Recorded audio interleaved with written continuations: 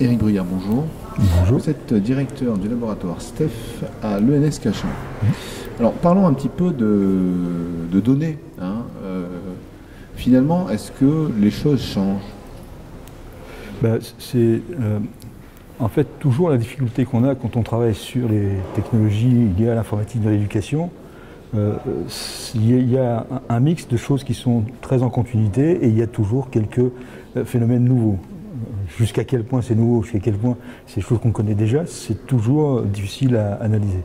Mais il y a toujours ce balancement entre finalement des choses qu'on connaît très bien, puisqu'elles reviennent sous d'autres vêtements, mais c'est à peu près la même chose, mais il y a quelques éléments qui sont tout à fait nouveaux. C'est ça qu'il faut comprendre. Alors le big data c'est nouveau, euh, est-ce que l'analyse des données c'est nouveau? Qu'est-ce qui est nouveau et qu'est-ce qui ne l'est pas? Bah, euh, la liste des données, euh, je veux dire, c'est ce que fait tout enseignant, je veux dire, depuis très longtemps. Hein, je veux dire, s'il y a des systèmes d'évaluation dans les dispositifs, s'il y a des exercices, c'est pour regarder ce que font les élèves, regarder leur démarche et après, en fonction de ça, de s'adapter. C'est le, base du travail d'un enseignant. Après, le faire sur une autre échelle, euh, c'est assez compliqué parce qu'il y a eu des tentatives hein, depuis une trentaine d'années, c'est-à-dire même des manuels qui expliquaient comment pour la lecture ou pour d'autres choses, pour les mathématiques, euh, regarder les avancées des élèves. En gros, ça a très rarement pris parce que la plupart du temps, l'enseignant n'a pas le temps nécessaire pour analyser toutes ces données. Et s'il avait toutes ces données, il n'a pas forcément euh, dans sa panoplie les moyens d'intervenir de manière extrêmement précise sur euh, chacun des élèves. Alors, le big data, effectivement, c'est maximiser le nombre de données, avoir tout un tas de données.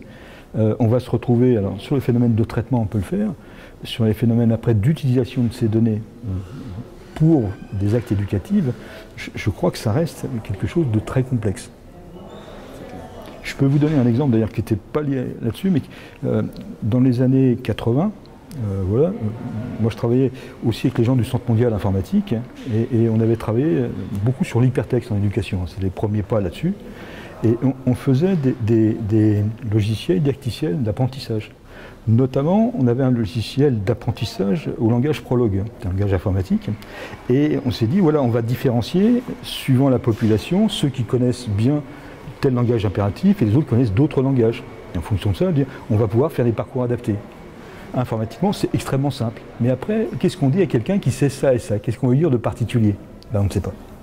On ne sait pas parce que euh, finalement, on manque énormément d'études didactiques qui vont nous permettre, en fonction de données, de spécifier une intervention particulière. C'est toute la, toute la difficulté va être là, c'est-à-dire que euh, le facteur extrêmement limitant, c'est que s'il n'y a pas beaucoup d'analyses didactiques complémentaires qui nous permettent de dire, en fonction de tel profil ou telle caractéristique repérée, voilà ce qu'il faut faire en tenant compte des complexités du domaine, bah, voilà, ça sera beaucoup de choses pour euh, pas grand-chose.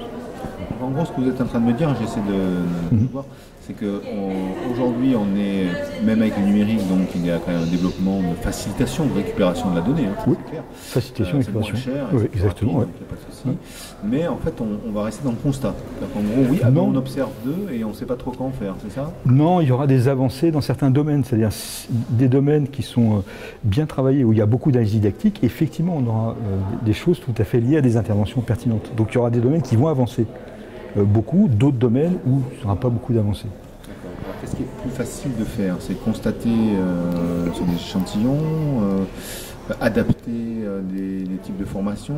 Qu'est-ce qui, est, qui est compliqué et qu'est-ce qui est simple en fait, dans notre histoire? Alors, les parcours, c'est encore autre chose, parce que ça, c'est lié à, nos, voilà, à notre organisation des systèmes. Il y a des domaines, en gros, où euh, on peut avoir des réponses euh, d'élèves ou d'étudiants euh, qui nous permettent de reconstruire assez facilement le cheminement derrière et de comprendre les éléments qui pouvaient les conduire à ça. mais ça, on le sait depuis des années, hein, sur en mathématiques, il y a des longues études depuis 40 ans. Sauf que si on les duplique sur beaucoup de gens, on va peut-être justement compléter les analyses didactiques pour faire ce que les Américains appellent l'adaptive learning là-dessus. Euh, la difficulté, c'est que c'est peu généralisable. Euh, je vais vous donner un exemple. On travaille beaucoup sur les MOOC hein, Cachant, donc on a fait plein de MOOC. Hein. et, euh, on a invité Justine Reich, qui est quelqu'un qui travaille MIT, etc., Stanford, donc ils ont accès à toutes les données. Et en gros, il nous a dit qu'il y a deux résultats majeurs qu'il obtiennent avec toutes ces données. Hein. là, c'est du vrai big data.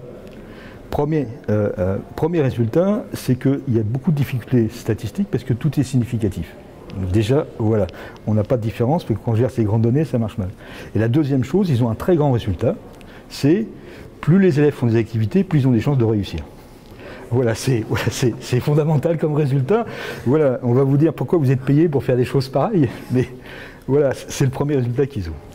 Après, ça, ne veut pas dire qu'il n'y en aura pas, mais il y en aura dans des domaines précis, il y a des domaines où il y aura suffisamment d'études, il y a des domaines où, la réponse est suffisamment calibrée pour justement faire des hypothèses, etc. Donc maths, informatique, c'est quelques domaines où effectivement il peut y avoir des avancées. Dans les autres domaines, euh, il y aura des avancées si vraiment on aide après, euh, pas uniquement les données, mais les études didactiques complémentaires. D'accord, donc c'est pas autant dans la recherche de l'analyse des données que ça va, ça va, être utile, c'est plutôt après tout ce qui est analyse didactique. Exactement. D'expliquer un peu pourquoi il y a ça et, après de donner des hypothèses sur comment il faudrait faire. Et c'est ça, ça, manque ça pour l'instant. On n'a pas les choses et, et c'est un peu plus délicat et subtil de faire ça. Merci.